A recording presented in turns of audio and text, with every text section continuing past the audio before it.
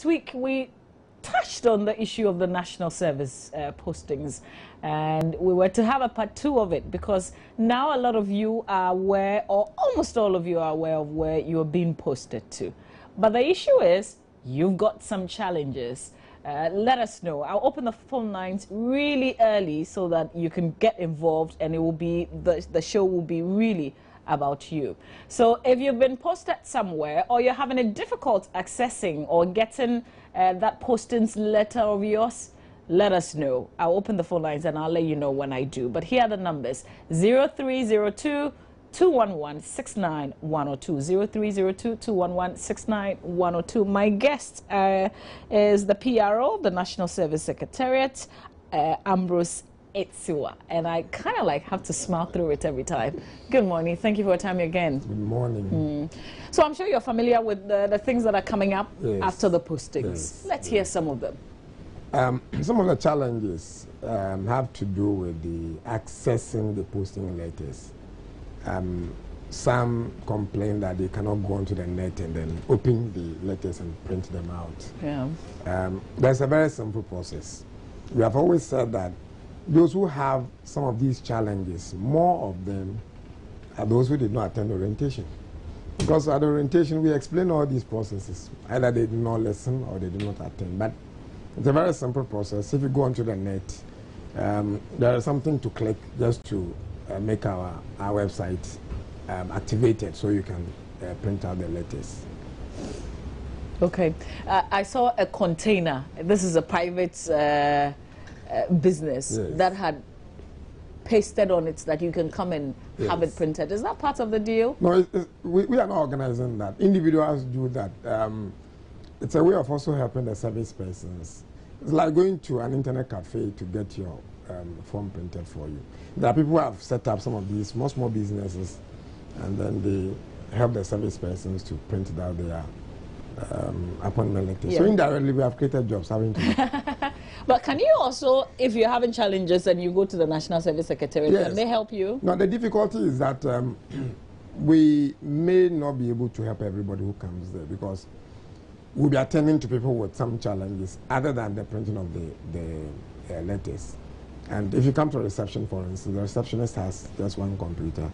So if, if you have about 20 people at the same time coming to access their posting, Yeah, they can queue. uh, no, but it's not the best of things. You can you can go to most of the internet cafes dotted around the area to print it, but of course it's also not our our responsibility to print letters for you. So you just have to go. But of course, some people come. Um, if we have time, we assess them. I have printed a couple of letters for some of the people who come to my office with a difficulty. If I am less busy and um, there's time, I would I would go to the net, especially for those who create the impression that we have not posted them.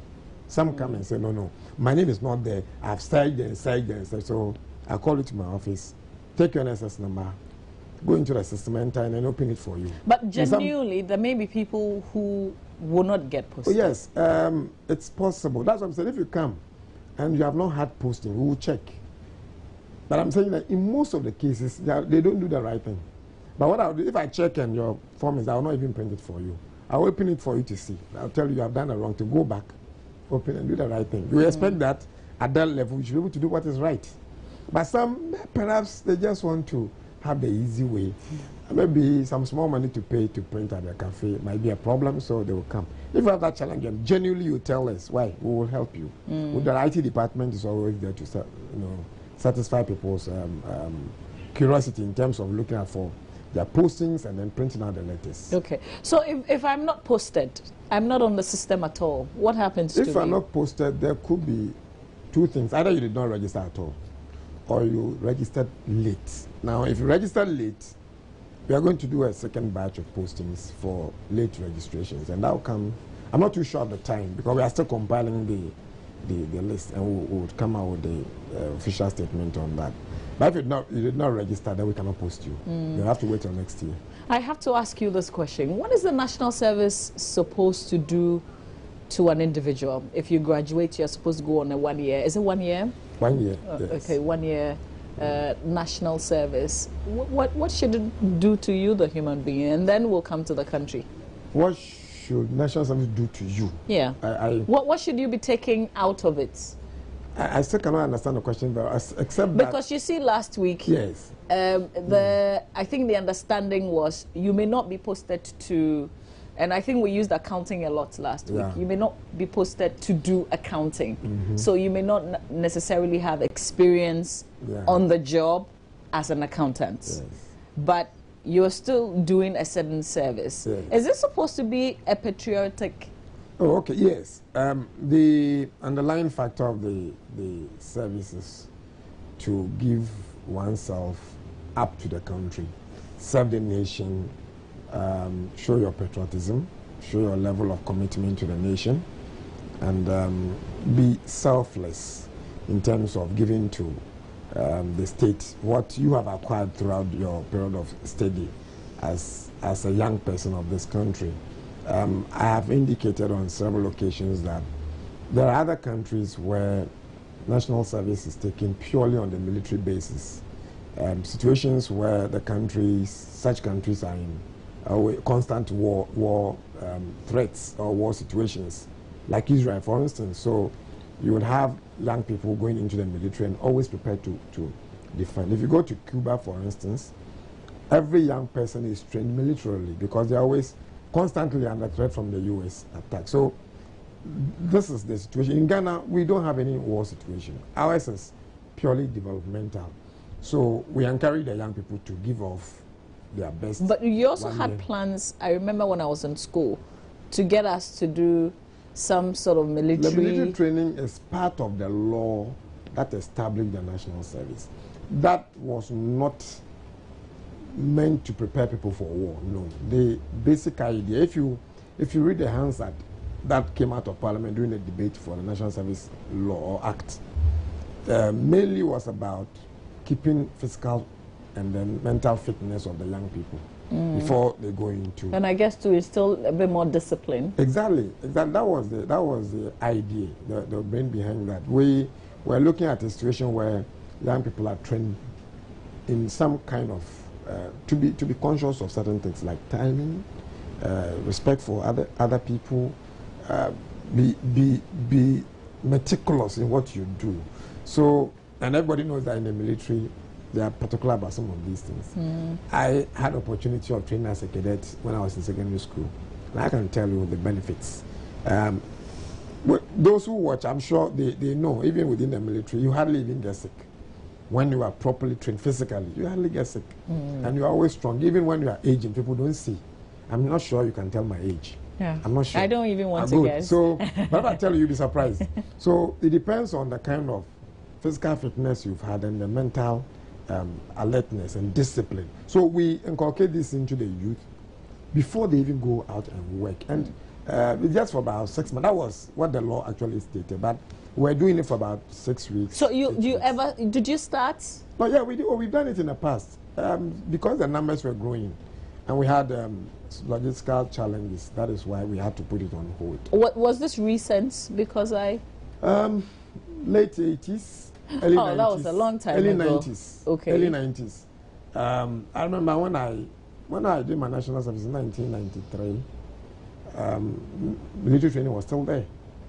So 90s, mid 90s, getting to the late 90s, we had to put that one on hold because of the numbers were growing every year. And then but this was almost coming back. I, I think in 2006 or so. Yes, almost. Because we were having discussions with the military high command. But as I said, these things go with budget. Um, you need to think of the number of people who are going there, the uniforms they will wear. If they are on the camp, the food they eat, everything is, is money. Uh, So this is like proper.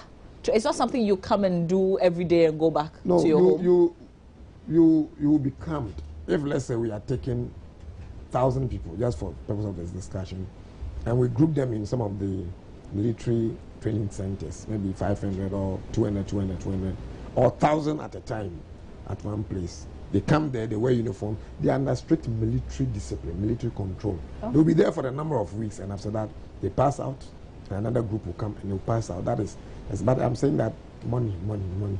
But do you think students will be interested? I can because Jerry might, I think a form came around, I can tell and there you. was a point where you have to take if you had Yes. any sickness or disease, and everybody was quick to take that because when you do, then they will not include you in the list of those who have No, that military is, training. This is, this is voluntary. We will not force anybody. Even if you are interested in going, the military will check your health sta- status. They, they have some, you know, parameters. If, for instance, you have some low blood pressure or high blood pressure or something, you will not be allowed to go for the military. Why? You want people to go and start collapsing on the field. But this is rigorous training. So they will not even allow you to go. When they check and you have certain um, diseases, maybe if you have hernia and things like that, they may not allow you to do but you genuinely think that students or graduates Oh, will be interested? I can tell you the number of people, the interest that this has generated, the number of people who have called our offices and are willing to do. If you go through the forms that they filled, many decided that they would do the military. field. Many, many of them. We checked. Those who take the yes, are interested in military? so how much money do you need? I can't. I can't tell for now. Um, I do not have the figures. This is money, so I, I don't want to speculate.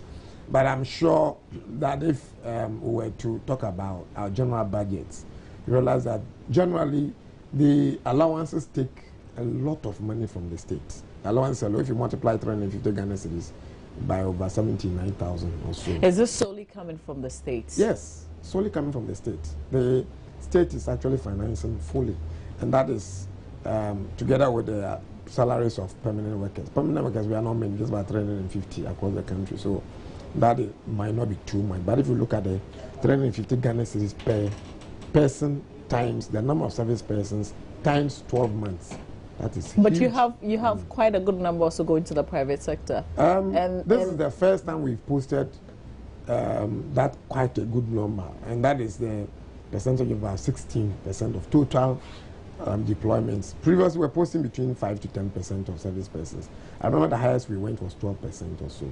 So, But you said this, this time around, yeah. 16% of the posting, and of course, that one would generate some amount of money. But each person is uh, getting, or we are getting seven, 70 Ghana, sorry, yeah, 70 Ghana cedis per person, you know, from the private sector per month. So um, that is the what we call the 20% service charge. You calculate 20% of the 350 Ghana cedis, and that is paid to the secretary. That's service charge. And that comes as part of our income generation, which is also monitored closely by government. Okay. But those private people, you do not pay the service personnel. No, they pay them. They pay them, but still, you still have the uh, greater number of people who are being paid by the state. For instance, those people posted to the education sector, that's about 52%. We're talking about 36,000 plus.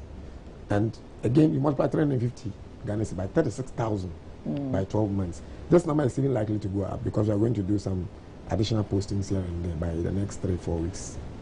But if you if you look at the sort of work that they also go to, to do, because in some places, you talking about the private sector? no, Okay, I'm talking about right, public sure. and teaching to be Okay, specific. right. Sometimes there are some of the schools who don't even have teachers at all. So these personnel actually fill in the position of permanent teachers. Certainly. I have always used one particular example. I had opportunity of going on some um, trek to check on what service persons were doing across the country. Uh, that, this was about two years or so ago. Went to a district or a village around, um, I don't know what is the white water of the black or the black water, close to the uh, Burkina, so Cote d'Ivoire border in the upper west region. Um, then there is a village called Ziwo Chow or something like that. I forgive me if I have not pronounced it well. In that school, class one to class six, there were only two teachers, and um, the the person who happened to be or acting as a head teacher uh, was just um, somebody who was not even a trained teacher. The other person, excuse me, was a blind man in the school. So we had three service persons there. Now, one of them was even taking two classes at a time. So the question is, what would have happened to that school and those children if we did not have the service persons going there? Uh, this was, as I say, about two or three years ago or so. Now, the story is not different from many other um, um, rural communities. And service persons go and fill these vacancies. There are cases where uh, national service persons have become head teachers of some of the basic schools. When they go there, there are no teachers. Or there are people teachers from the community, some of whom have not even gone to military education. Yeah, but do we know if they're teaching the right things? Well, that one would be better than if the children were there and doing nothing. But in any case, let me just state that if anybody has gone through university education, we are not saying that you are a professional teacher. But for example, you, for instance, I'm sure if your son were to come home with something about what you have studied in school before, you should be able to assist your son in learning or, or, or doing some little homework and other things. My children still come to me. Even at the tertiary level, they come with, Daddy, I know you did this course. What is this? What is that? I'm not a professional teacher, but if I had the time, I'll sit there and decide, okay, let's do it this way, let's do it that way. And sometimes it helps the children. They have confidence in you as a parent. Mm. But I'm saying that if you go there as a, as a university graduate, the children are looking up to you. We are not saying that it is a perfect situation, but it will be better. In any case, service persons who are posted to schools do not just go and start teaching. No. Once you get there, if there are head teachers, they are supposed to take you through orientation. Maybe some in-service training, the basic rudiments of teaching, preparing of lesson notes, and things like that. Um, use this medium of language. Use this. Don't do that. Don't do that. Maybe you're dressing. The children are looking up to you. These are the petty things. I mean, you know the formative ages of the children from one to five years or so. So they will copy you and they will look at you as a role model. That one alone is important. So we are not looking at only the academic work like one plus two and two plus two and things like your your physical appearance as a person from maybe the urban center to the rural community also inspire the young people to like to grow to become yeah. somebody like you. Except that yeah. if you if you, if you were teaching, yes. would you get clothing allowance? You would not. No, because you'd be going to work every day. No, yeah, we will not. We will not. We don't have any any special package for clothing allowance. Mm. But appearance matters, yes, like you said. But if, if, if you are a university graduate, I'm not sure you are going to dress sharply wherever you go. In any case, your personal appearance is your responsibility in the first place. Um, you decided to wear this this morning. Mm. Perhaps maybe for the kind of work I decided to wear this this morning. Um, if you go to the university and you are going for lectures, nobody determines what you should wear. But you are trained such that your appearance should, should look good in the eyes of the public because you don't live on an island, you live in a society. So we are all trained, even from basic secondary to the tertiary yes, level. Yes, still we hear people yes. wear very revealing things on some of the campuses. Uh, that is for the ladies. Yes. Yes.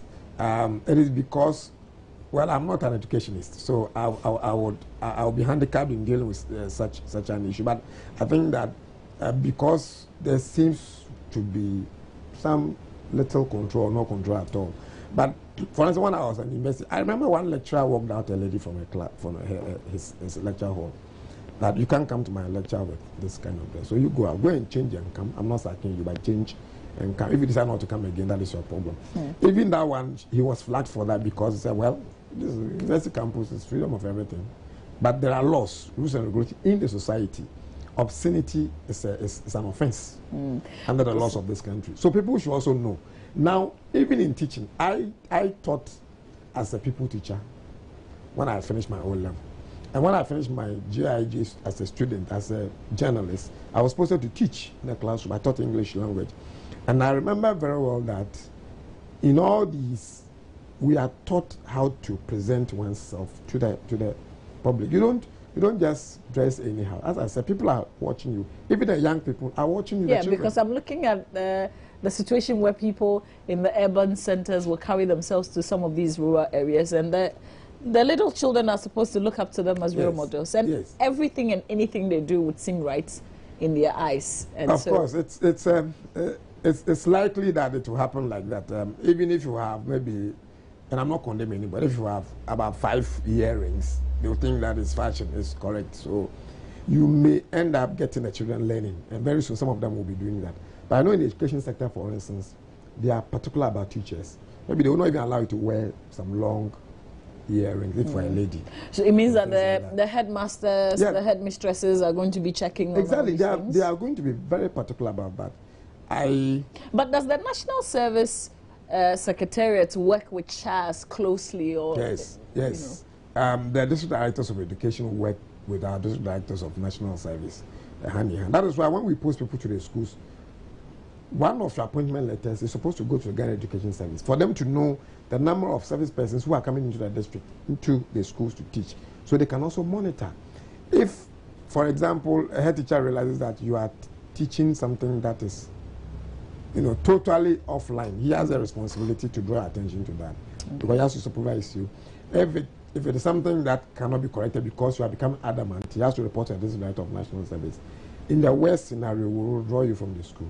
Okay. Let me open the phone lines now. Uh, give us a call on 0302-211-6910.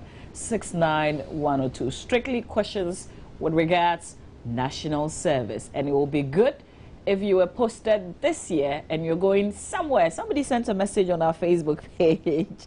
Uh, uh, Nan Kwanduru is too far, you're saying. but is there something like too far? It's a very good question you've asked. Um, where is too far in Ghana? There are Ghanaians, and there are Ghanaians there. They eat, they drink, they breathe, they work, they do everything. Maybe they are farmers. That is the objective of national service. Where it might not be too palatable in terms of the conditions. Mm. Um, we will want service persons, Ghanaian you, to go and assist them. Let's not forget, not too long ago, there were young people from the universities who went to the bushes to carry cocoa. That was some form of national service, duty hmm. to the country. Yeah. Let me, speak, let me speak to Jonathan. He's joining us from Elmina. Hello, Jonathan. Good morning. Hello. How are you? I'm very well, thank you. Yourself? I'm calling from, I'm Jonathan, I'm calling from Achabade. Okay. Let's hear you. Okay, I did my national service last year, and my July and August salary has not been paid. I did it. The district is at the Boise. I want to find out the reason why I have not been paid. Okay, so can I ask, when was the last time that you checked? Hello, Jonathan? Yeah, uh, yesterday. Yesterday yes. I called the office. Okay. So what, what exactly did you do? You, were you teaching? Hello? Yeah, I was teaching. Okay. All right, we'll find some answers for you. He hasn't been paid July, August. But before you answer that, let me speak to Majid, uh, who's joining us from somewhere in the northern region. Good morning, Majid. Good morning. Yes, sir. If you can speak up a bit for me. Uh, yes, my name is Majid. I'm calling from Bushibu. Okay. Yes. Thank you for calling. I'm not a national service guy. I'm a teacher. Okay. Mm, and I really, I have some of your, I have some of your uh, series national management. I really appreciate their work. Okay. From that, yes. Mm. Well, I wish give us such dedicated people again. Oh, okay. Are doing very well.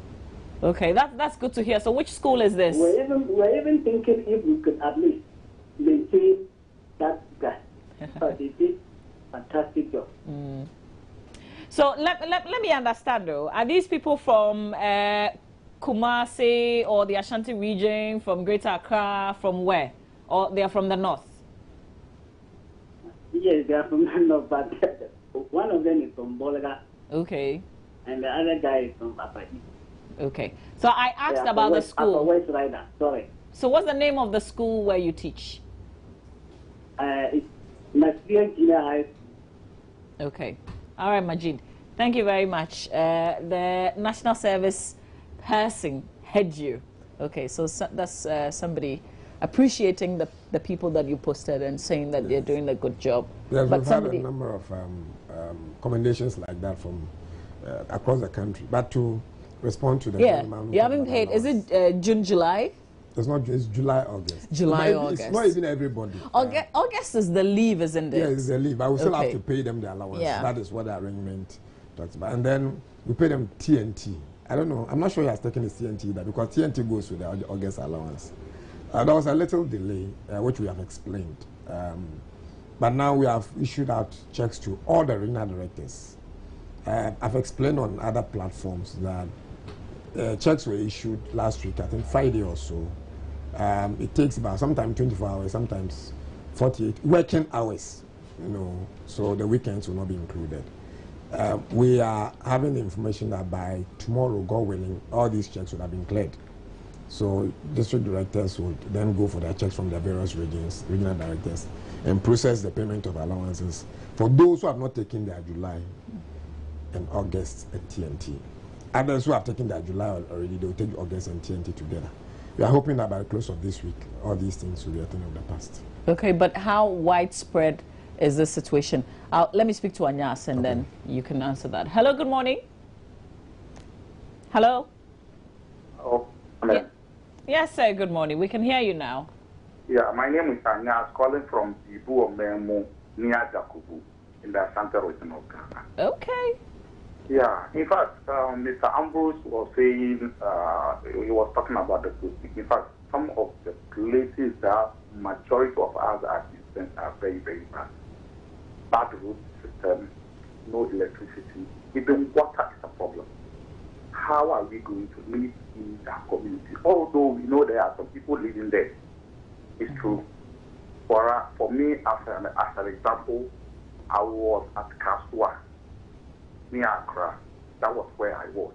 I went to Abuja College of Education. I was posted to a place known as Tekro. And to be honest with you, the car normally goes there once. Hmm. and for where I am, and then to the school, in fact, it's about seven miles.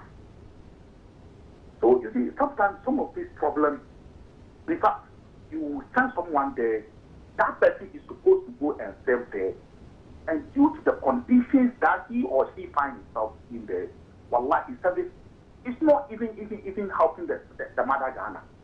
So please, I will, I will, I will, I will plead with Mr. Ambrose that if possible, we should be sent to a place where we feel comfortable at least and then get that zeal out of us to do the work. If not, majority of us are not doing the work. I'm telling you the truth. So is your is your is your service over? Is your service over yet? Oh, my service is over. Okay. My service my service is over. But did you did you truthfully? I mean, with all the challenges, did you truthfully stay all through the time? Yes, I did.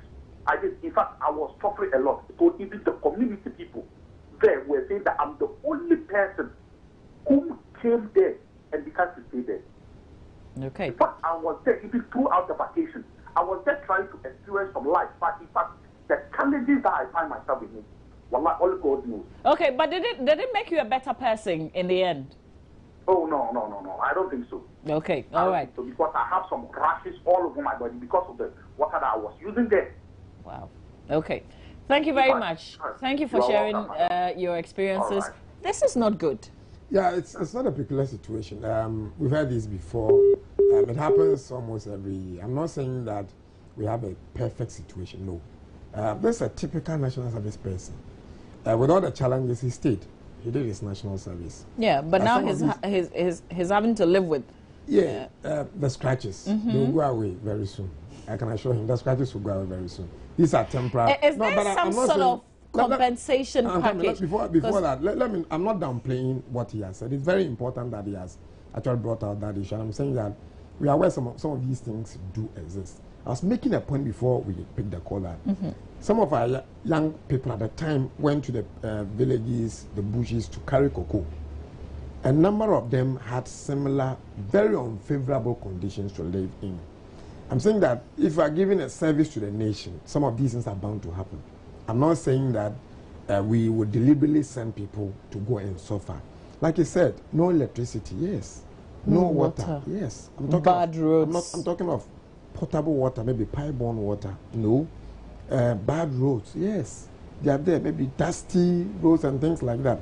Now, it is that is why some of them say it is national suffering or national punishment. Oh, so you've heard? Oh, I did my national service, so I know what's all about. So uh, but if you don't like the place, can you opt out? No, you can opt if out on certain conditions, so certain situations. For instance, if somebody has has um, asthma and is posted to very dusty area, and there's evidence that a person is asthmatic, immediately we change the person from there because we don't need anybody to go and have an attack. Okay, I have Kwame, and then I have uh, Julius. I'll speak to Julius first. Good morning, Julius. Yeah, good morning. Yes, sir. Let's hear yeah. you. Uh, as a service personnel, you are serving the nation. So wherever they post you, you have to go and do it. It's a life experience job. I was posted, I'm from where I was posted far away. I went and did the job. The job. So all those complaining, they didn't know. They're serving Malagana. So for the one year, wherever they, they, they, they, are, they, they find themselves, they're going to learn. So let me explain to them, it's for, just for one year. Okay. All Yeah. right. Thank you, Julius. Now, Kwame Yeboah, good morning. Well, how are you? Yes, Kwame. How are you doing today? Yes, I'm doing well. How are you? I'm well. We thank God. Let's hear you. You're in Obuasi, right? Yes, I'm in Obuasi. Okay, cool. Yes, there's, um, something that has been going on for a long time. and It's something that I've observed.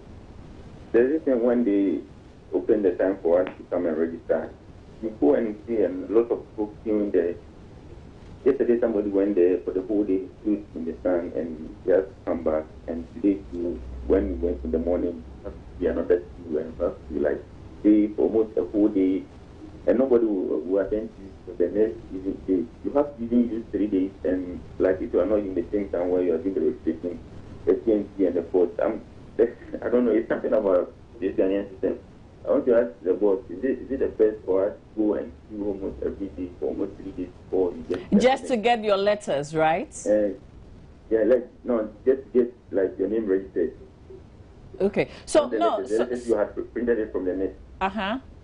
So I don't know why is it that we have given almost for three good days before you register. Okay, so Kwame, let me get let me get this right. When you print it, you still have to go to the office to go and register.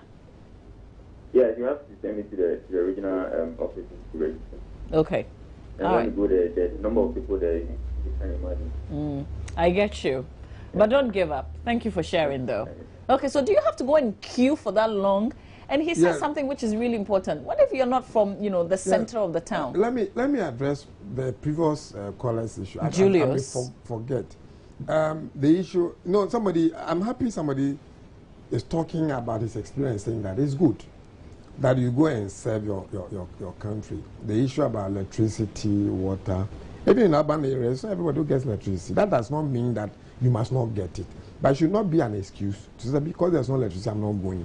In any case, Hey, but how you- do you live in a place, especially when you've is- lived that- all your life in a place where you have That is the electricity and you have a phone, Excuse me. you, you, that- ha- you yes, have a computer you can't use? That's the experience you go through to feel what other people are also feeling as Ghanaians. So that one day, when you become a policymaker, or when you get to a position where you can influence policies, you think about those who are going through that process. But you should be given, you know, a bit more compensation to such persons. Well, for, for national service, we don't have that that, that program. Um, that should be something that should be discussed by the state.